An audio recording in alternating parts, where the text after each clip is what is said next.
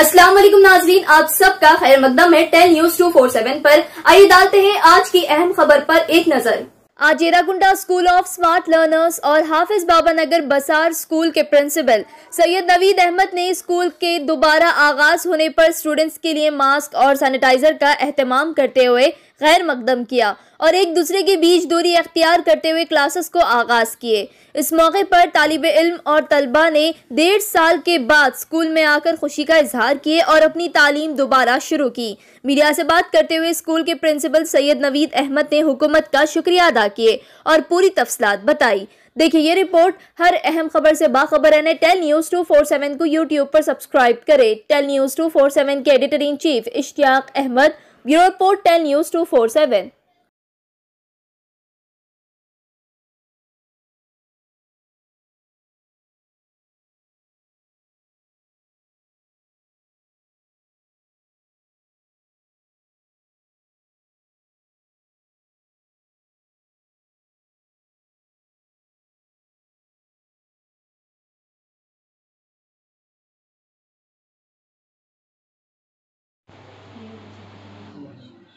पूजा को जाना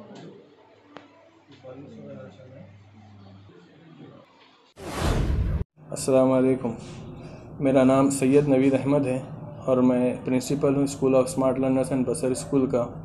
School of smart learners Errakunta और बसर स्कूल हाफिज़ बाबा नगर। आज हम बहुत खुश हैं कि डेढ़ साल के बाद हमको फिर से फ़िज़िकल क्लासेस लेने का मौका मिला है। ऐसा नहीं है कि हम सिर्फ़ फ़िज़िकली ले रहे हैं ऑनलाइन क्लासेस भी चला रहे हैं तो पर वो रिस्पॉन्स नहीं हो रहा था। लॉकडाउन के वक्त हमारे पास स्ट्रेंथ थी 500 और ऑनलाइन क्लासेस जब लॉकडाउन हुआ, उसके बाद सिर्फ़ 100 स्टूडेंट्स ही ऑनलाइन क्लासेस ले रहे थे। तो जो रिमेनिंग स्टूडेंट्स थे 400 उनको एजुकेशन बहुत बड़ा लॉस हुआ है। इन ये डिसीज़न के बाद वो लोग भी चाहे ऑफलाइन क्लासेस लेंगे तो उनको भी एजुकेशन मिल जाएगी। रीज़न ये था कि वो लोग अफोर्ड नहीं कर सक रहे या तो स्मार्टफ़ोन या इंटरनेट इसी वजह से वो लोग ऑनलाइन क्लास नहीं ले सक रहे थे। और लॉकडाउन की तरफ़ से फाइनेंशियल इम्पैक्ट भी बहुत पड़ा है स्कूल्स पे और पेरेंट्स पे, सब पे।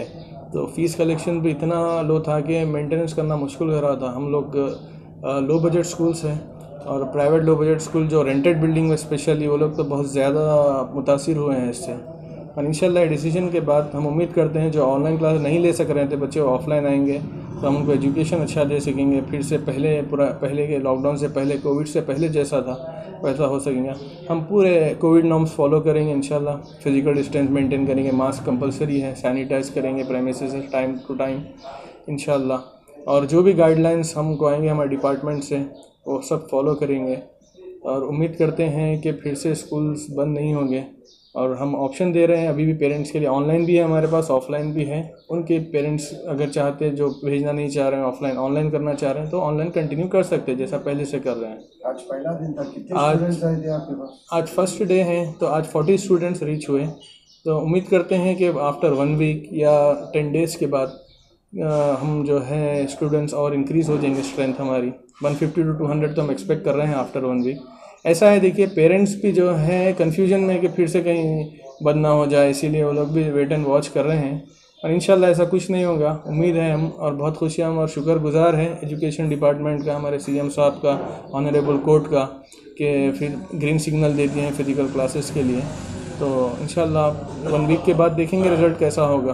पब्लिक की सोच में ये है कि आप लोग स्कूल ओपन होते ही फ़ीस का मुकाबला करेंगे नहीं, ऐसा कुछ नहीं है। फ़ीस का हम पूरी तरीके से कॉपरेट करेंगे पेरेंट्स से, क्योंकि हमको ही मालूम है फाइनेंशियल इम्पैक्ट बहुत ज़्यादा पड़ा है ख़ास तौर हमारे ओल्ड सिटी के जो रहने वाले, क्योंकि सब जो है छोटे मोटे कारोबार या डेली वेजेस पे अर्न करने वाले हैं। तो इंशाल्लाह फोर्स कुछ नहीं करेंगे फ्लेक्सिबल रहेंगे, बराबर उनकी सहूलत से करेंगे।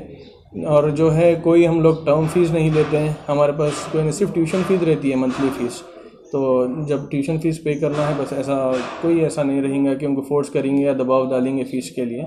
सहूलत बराबर देंगे उनको इन